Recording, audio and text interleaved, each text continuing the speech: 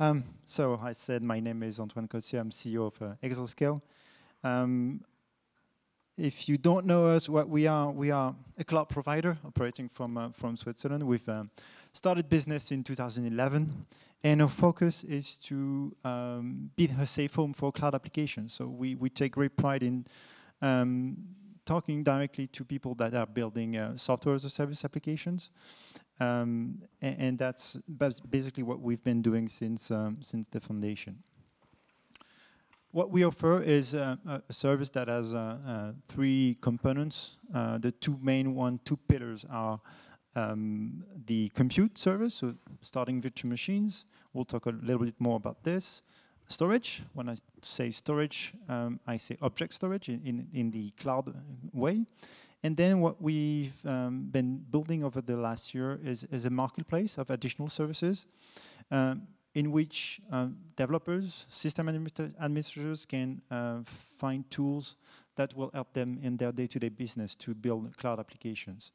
Uh, with this marketplace, our goal is not to um, be software as a service editors ourselves. No, that's the job of our customers.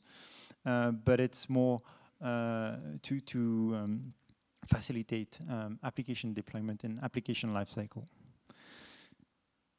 Of course, being in Switzerland, being a Swiss provider operating in Switzerland and a Swiss-owned company, uh, we have to focus a lot on, on security. So that's a, um, a, great aspect of our service. We operate from three data centers at, at the moment, uh, two in the Geneva area and one in uh, closer to, to Zurich, which happens also to be um, a bunker. Um, and basically, if you haven't tried the service yet, um, we also want to focus extremely on, on, on, simplicity. So Exoscale, the whole open cloud experience, as we call it, uh, everything is uh, brought to the user in a single portal in which uh, the user can find the uh, technical aspects, uh, but also um, everything regarding support, documentation, and, and, and billing. Um, so yeah, I'm trying to be as simple as, as possible and, and, and, and, move away the complexity of the data center. We are in 2015. Uh, we did not want to bring all the complexity of, of data centers, VLANs, etc., in a in a web interface. Uh, the idea is to uh, our future of IT is that this can be much more simple why do we call this open cloud? Why, why is it open exactly? Three, three main reasons. Um, and, and, and, one that's also obvious is, uh, first of all, it's built on, on open source technology, and not the OpenStack that we've heard a lot of before, but uh, our main orchestration product is uh, CloudStack, the other um, uh, major open source pla orchestration platform. Um, sorry, this went too fast. Um, but it's also open because we provide um, uh, a large set of um, uh, operating systems in in the platform. It's not only uh, we're not only a Linux uh, cloud provider. We also provide uh, Windows instances and all the uh, Windows mechanisms that you you, you can um, apply DevOps concepts to to Windows instances too. Um, but all those machines, all those templates can benefit from the same uh, um, DNA. So all charges are, are, built by the minute. So a, minute of computing is the is the is the lowest um, uh, unit. Uh, we try to provide the fastest I/O possible. We are currently shifting towards full SSD, and it's in our name, so everything is is scalable um, from the instance size to the disk size. Uh, one thing I would like to particularly highlight is the rise of, um, um, we've talked a lot about uh, in the conference about microservices and obviously containers are, are one of the, the pillars of this. Um, we've been one of uh, the, the earliest adopters of uh, CoreOS, which is a, a really bare minimum uh, Linux distribution which focuses on on, on providing providing um, Docker API uh, really quickly. So our, our approach to um, uh, to containers today is to provide a really fast way to deploy um, uh, ready to to work uh, Docker machine um, with uh, with CoreOS. Second reason why it's open, APIs. We would not call this cloud if it weren't for, for APIs. Uh, we, we have, a, we have a, a library a tool for any language, whether you are sharp developing in Java, in Python, in Ruby. Uh, we have um, we have the the library hooks that that that uh, uh, that fit you, and and maybe uh, Meb will talk about a bit more about about it. And uh, if you want to go higher in the stacks, um, configuration management tools like Puppet, like Chef, like uh, Salt, etc. They are all um, existing drivers that can connect to to to Exoscale. the open, um, the last attribute of, of, our platform is maybe the way that we handle um, the, the, the security and the networking. Uh, you will not find on, on Exoscale uh, public-private networks. Uh, we don't think it, has any sense anymore. Uh, I was talking earlier about the complexity of the data center. Uh, so each virtual machine that you start on Exoscale gets a public IP. It doesn't mean that this machine is is directly accessible from from the the internet. It's not uh, uh, directly exposed. Uh, there's security on top of this that you can manage with with security groups. This we did not invent it, but if you rethink a little bit your uh, application architecture, you can achieve the same uh, uh, security um, um, level than with a traditional um, tree uh, network approach like DMZs and, and VLANs. The second pillar that we propose, uh, object storage. Um, uh, it's it's a kind of a unique offering. We were the first ones to to to to open such a service. It's a fully uh, AWS S3 compliant um, API. It's a project that we've uh, open source if you want to build your your own. Um, and, and, when I say um, S3 API, it's not just get input objects. Since we our customer base is, is mainly developers, people rebuilding uh, software as a service applications, we have implemented most of the features that are uh, interesting in, in the S3 API. So if you want to do form-based validation, um, uh, authorization, etc., it's it's it's all there in um, in the API. Um, I will talk very briefly about this. Uh, we also have a platform as a service that's been in production for more than one year now. It supports five languages, uh, but in this case, not the Microsoft environment uh, because it's still very difficult to do. So it's not GA's um, Java, Python, PHP, uh, and, and, Ruby. And the idea there is that um, uh, it's it's one of the highest uh, maturity level of, of deployment that you can uh, directly stream your um, your your application from your your development uh, repository. So that's the the idea that you can get. Um, you just say state the number of uh, uh, virtual machines that you want, and and the platform will will scale it into those blue containers. Uh, so it's not Docker here underneath. It, it's LXC orchestration, but uh, we'll soon soon get there too. Um, last bit, uh, we, we, are a public service, so so there's a public pricing. We uh, we did uh, had to to to go through the challenge of uh, of bidding, like uh, like the the previous talk uh, was um, was explaining about. So we've have developed our own solution. it would have been nice to to have a Cyclops alternative back back then. Um, but what we try to do also is that we want to keep this pricing as simple as possible. I I'd like to keep it on a on a single page uh, for for for as many. Uh, as long as possible, and, and I hope it will be uh, still on a single page next year.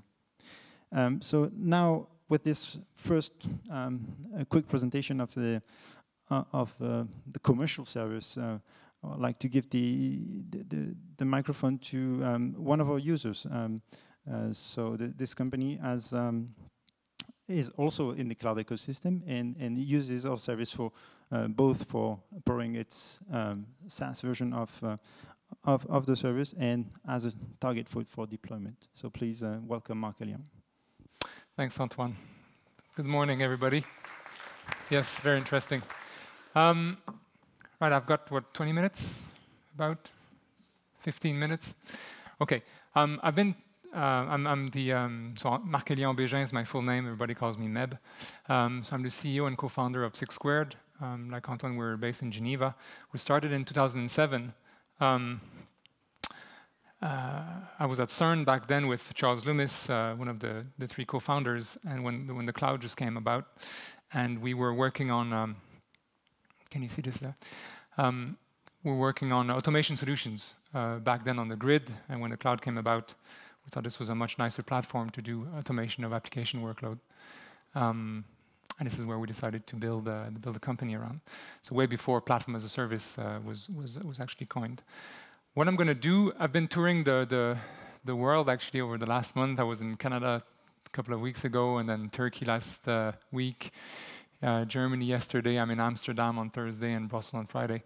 Um, and I've been giving a lot of presentations, and uh, I thought it'd be refreshing to actually not use slides, but just dive straight in and then give you a feel for um, what our, our solutions looks like, and then try to articulate the benefits and the, uh, the integration with uh, the Exoscale um, service. So what I'm going to present here is a Slipstream. That's what, what we do. It's our, it's our core product. Uh, everything I'm going to show you today is uh, built out of our open source core. So it's an Apache 2.0 uh, open source license, and it's uh, hosted on GitHub, so you can go there and then download it and, and, and, and install it and play with it. Um, this is our, our, our SaaS service. Um, it's called Nuvla. Do you know what Nuvla means? Any Roman speaker in the room? No? It means cloud, actually. So how, how Swiss can you get, right? Uh, I'm French Canadian, by the way, so I thought that was very cool. Um, so, uh, so Nuvla is, is, our, is, our, is our SaaS. So this is a hosted service.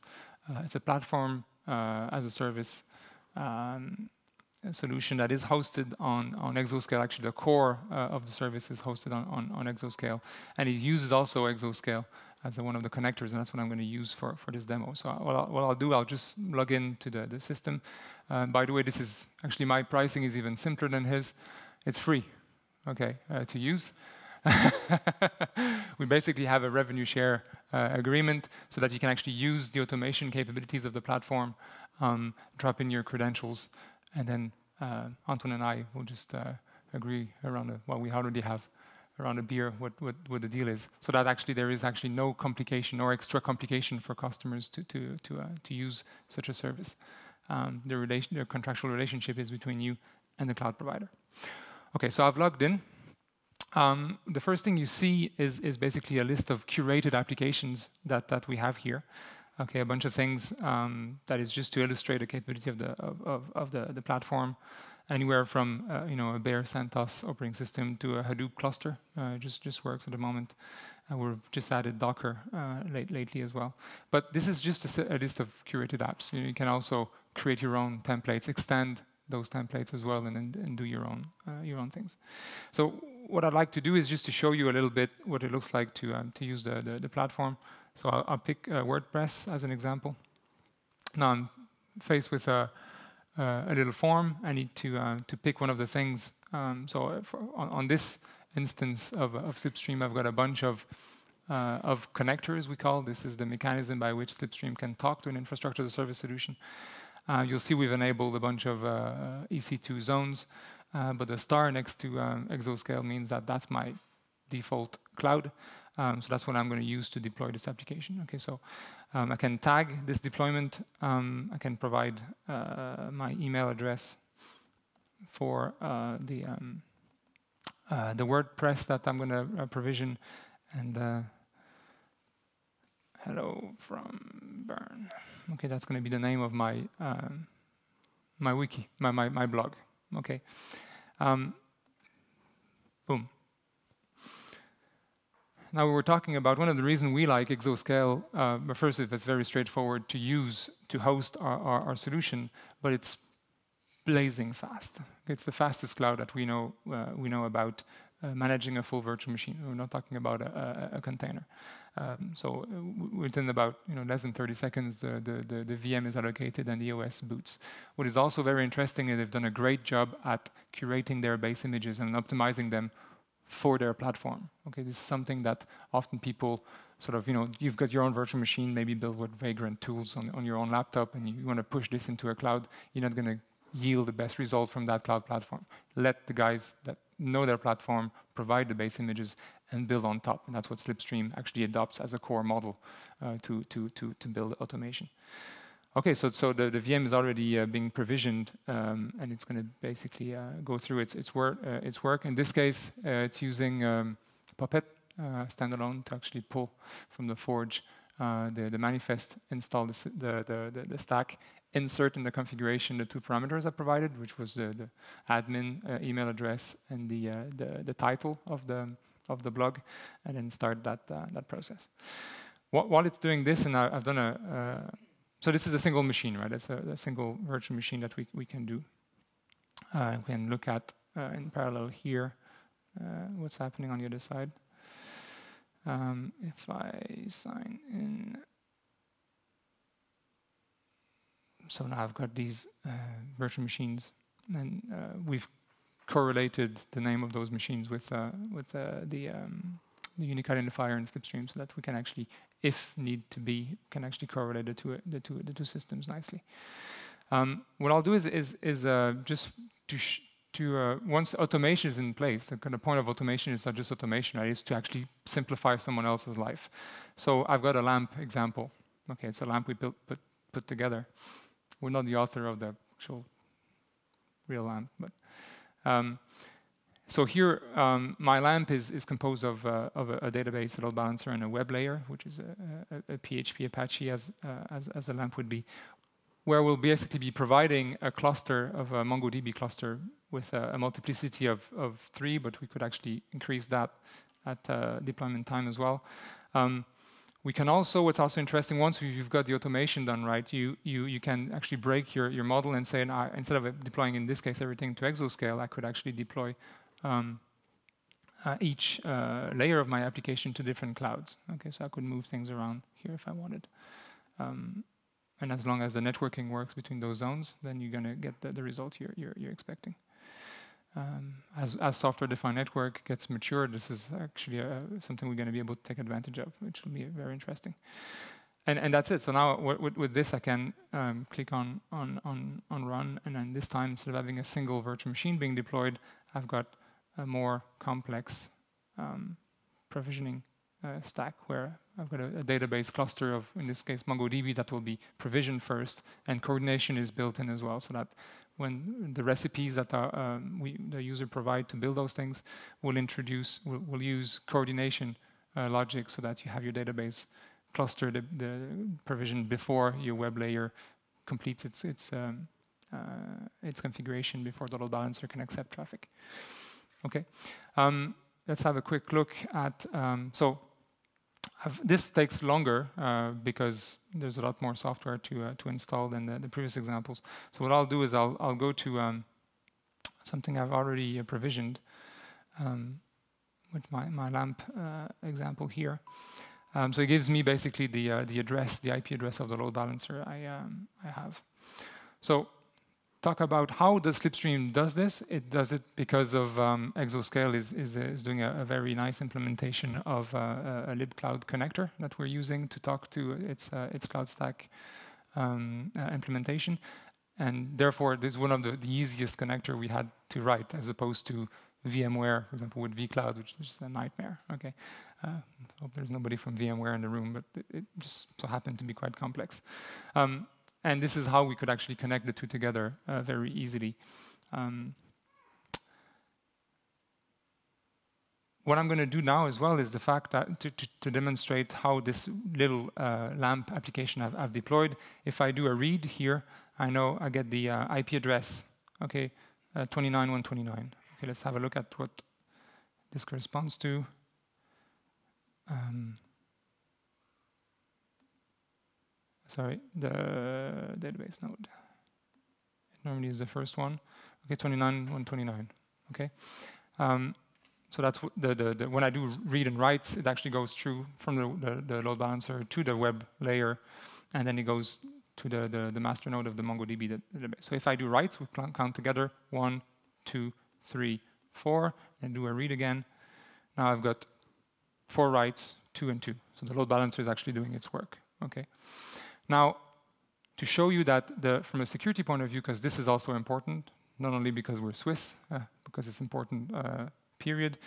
Um, there's no exchange of, of passwords and so on uh, in, in, this, in this setup. Um, uh, contextualization is implemented uh, very well in, in, in, uh, in, Exoscale so that I can actually um, go to um, the, um, the, the database here. Okay, part of my account is uh, in my account. I've put my public SSH key, so I can SSH to the machine, um, and kill the database um, just to so that you you you know I'm not cheating. So 29 on 29, right? This is where we're taking the data from. So if I basically kill that process, if I sudo, it works better. Okay, and I read again 131.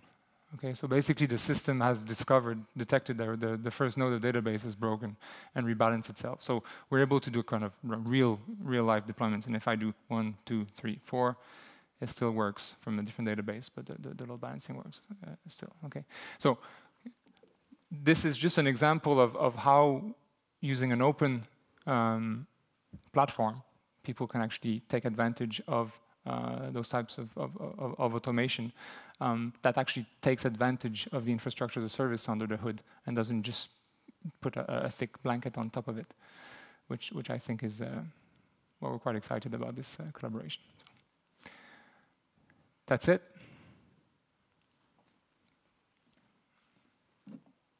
Maybe can you talk just a, one minute about the way you provision your SaaS yourself? On top of Exoscale? The way we've done it on top of Exoscale. It, it, it, chicken and egg, no? Chicken and egg, yeah, absolutely. um, what is interesting is that we, we, our primary cloud is Exoscale, so the SaaS is hosted on Exoscale. We use uh, DevOps, um, so basically from our Jenkins server, we actually build a new version of Slipstream. Um, then Slipstream itself takes the n plus one or two uh, version and deploys that uh, as well on, on, on, uh, on, Exoscale. So we're always able to have the production system plus the development versions and one or two release candidate for the next, the next round, and we try to iterate over two to three weeks. And this is how we, we're able to close the loop, where basically we, we eat our own dog food. We're the first users of our own software, um, and we're able to do this actually daily, and well, or nightly, if you want, where we're able to rebuild from the ground up uh, a full solution on one or, or several nodes because we have also a high availability uh, deployment that is also available on, on, on the Exoscale platform.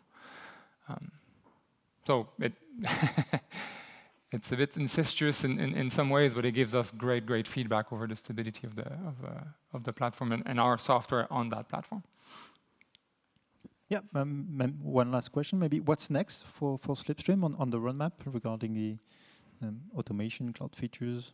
So uh, autoscale is, is what uh, so what we call mutable deployment is already has been in beta stage since um, um, February. CERN has uh, has played with it. They managed to over five weeks, um, you know, deploy 32,000 virtual machines uh, on some of their cloud infrastructure using our our, our feature. So it's getting there um, uh, clearly. Integration with uh, Docker, Docker Swarm is very interesting. The closing the loop with autoscale so that we can pr provision uh, monitoring system as part of our deployment is, is also the next stage. And integration with uh, object storage straight in the Slipstream model so that if the cloud provides something like uh, your, your, object store, then the, the model will be able to remain um, uh, lock-in free if you want. So we'll be able to apply uh, a Slipstream application model that includes uh, object storage dependencies into a cloud environment. Thank you. Thank you. Thank you very much. Thank you.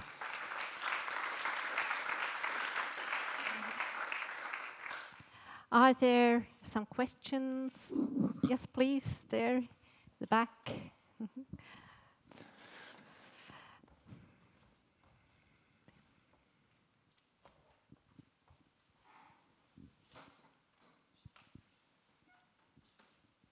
Yes, please. So um, so I'm also working in cloud orchestration somehow, so that's why I have a couple of questions. Uh, first, can you do service composition, for instance? So take two of your service from your marketplace and make them work together to build something uh, on top of them? Yeah, absolutely. If uh, if we look at the um, the lamp I was talking about, it actually builds on top of another module that is uh, the uh, MongoDB uh, component. Okay, and you can also, if there was a database as a service solution that was provided by the cloud, then you could actually replace this by that service endpoint instead. Remember, every brick is independent of each other, and they express, uh, you know, their their requirements in forms of input and output parameters. And, and, and that's it. So you can actually reuse and recompose that, uh, that solution. What we're working on, which is another feature, is to take an ensemble of those and turn this into a service that is already uh, already uh, provisioned. So you could have um, uh, deployments where their life cycle is actually decoupled from, from one another.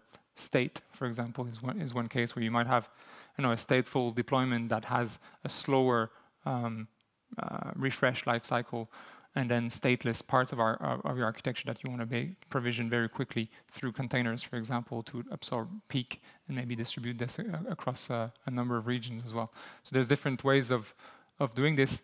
What you need from a provisioning standpoint is to decouple the life cycle of, of those components, and that's what we're working on.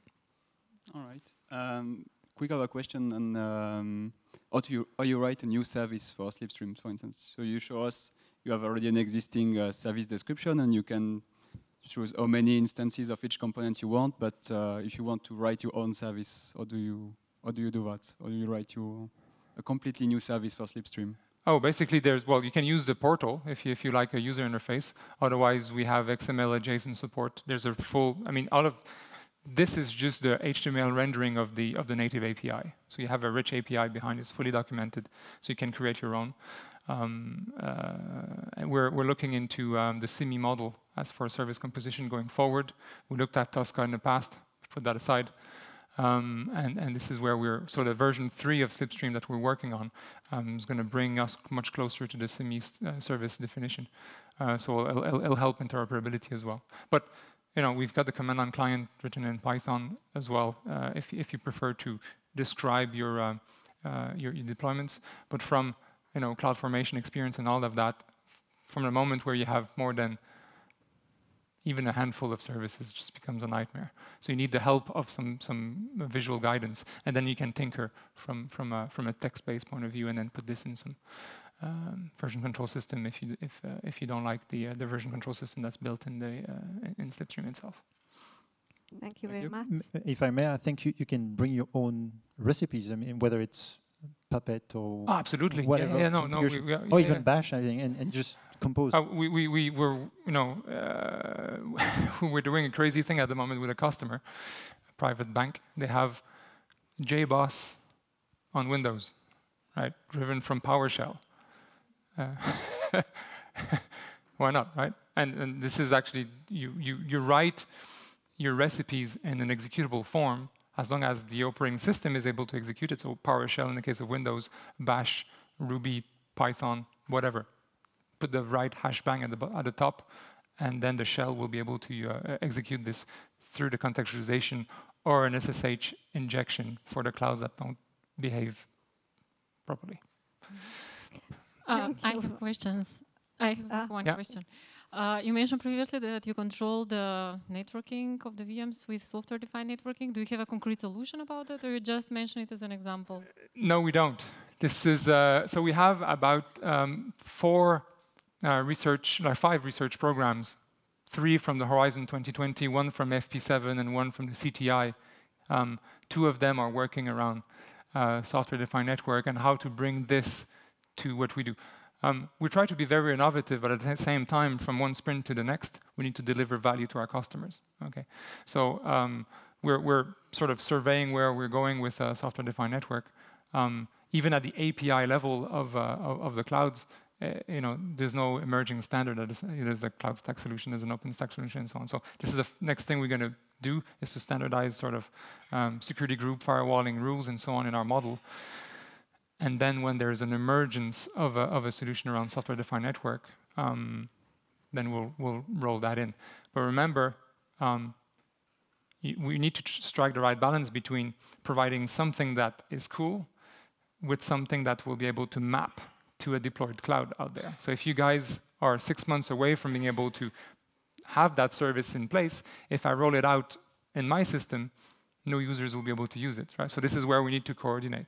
So that, that's where, but, but it's cool, right? This is where we are at the frontier between research and, and, and application, and in some ways we're the gatekeepers at, at, at, the platform as a service level, at least in, in the world we, we live in, um, to pick the right timing for, for rolling this out. But I think it's going to have great value. We have customers that want to basically go multi-region, multi-cloud for, for broadcasting, for example, and then being able to have an overlay at the software-defined network level built in the Slipstream model is going to deliver great, great value. So I'm really excited about it, but you know, we need a robust solution with a, a deployed implementation for this to happen.